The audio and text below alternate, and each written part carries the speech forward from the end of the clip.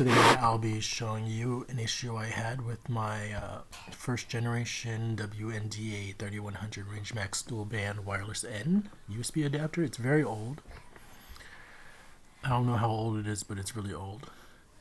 And so I was hoping to run it on Windows 10. You can see I'm on Windows 10 right now. But when I tried to install it, this software, I downloaded it and I tried running it on desktop. And this is the error message I get. It's missing for some reason. Uh, let's see if I can restore that.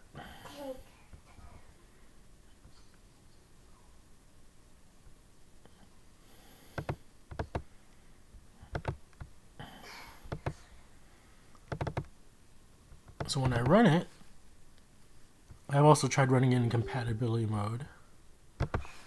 But it doesn't matter. It gets pretty far, but then it crashes.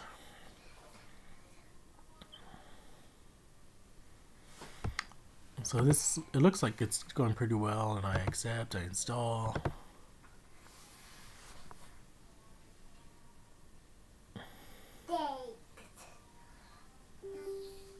but it crashes over here because Windows isn't upgrading the system. Not successful. Please minute to reinstall. And it, it, mine isn't even version 2. Mine's version 1. So this is what the error message that I'm getting. Um, so I did some more Googling and instead of uh, looking for the drivers, because I actually copied the drivers over from a working computer and tried installing them, and they wouldn't work. I found this. And so it's a dev wiki for uh, this uh, USB adapter, this wireless USB adapter. It actually has the exact Windows driver that might work. Uh, I clicked on here and it downloaded AR9170, 9170, which corresponds to this Atheros chip.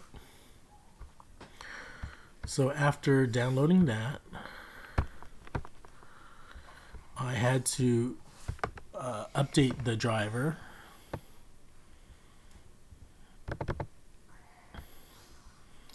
And then I have the driver look for the installation file in this directory here for the Atheros files. And I was able to install the, what do you call it, Wi-Fi. You can see over here I'm connected right now to the wireless. And so that's how I was able to get to work for Windows 11. So Windows 10, uh, this installation file worked, but uh, for Windows 11, it's giving me this error message, and I'm not sure why well obviously this is a really old uh, USB device. So this is how I got it to work. Um, I'm not showing the step where I go into you know right click on this computer. And then you go to uh, show more properties and manage. And you device manager and somewhere under USB you'll see like an exclamation because mine is already installed. It'll be under drivers network drivers. I had to what do you call it? Update the driver find find which where it was. It was showing up as like USB 2.0 something. And then I updated the driver and I had to browse computer for drivers.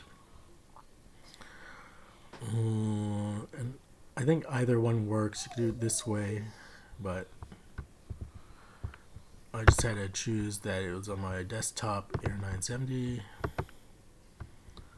and then I think it was able to install it automatically. So that's it. I don't think much people, many people are going to watch this video, but that's how I installed it. This old, old USB network drive. So have a good one.